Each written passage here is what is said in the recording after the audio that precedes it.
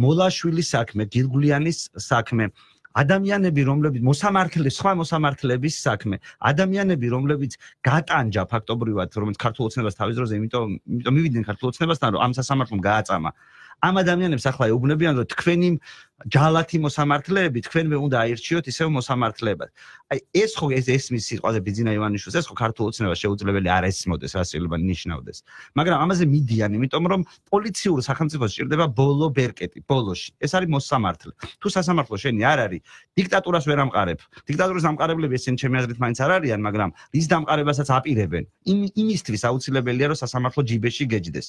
და აი ამ სასამართლო ბოლომდე ახლა ჯიბეში არის. უბრალოდ აა მათ მოინდომეს ჯიბეში მჯდომა სასამართლო მოინდომა უზენაეში უვადოდ გამწესრიგ ეს შეცდომა დაუშვეს. ისინი ისედაც იყვნენ აპელაციაში და ისედაც აკონტროლებდნენ სასამართლო სისტემას. უბრალოდ იმდენად ზედმეტი მოუვიდათ რომ ქარ ბიძინა ივანიშვილის წინამდე წავიდა ქართული ოცნების ნაწილი. ხო ხვდებით რა დონის უსამართლობაზეა საუბარი და რისთვის ჭირდება ბიძინა ივანიშვილს ასეთი უსამართლობა? იმისთვის ჭირდება რომ ძალაუფლება გამიყაროს საბოლოო ჯამში და ნებისმიერი ადამიანის მოწინააღმდეგის ციხეში გაშვება შეეძლოს.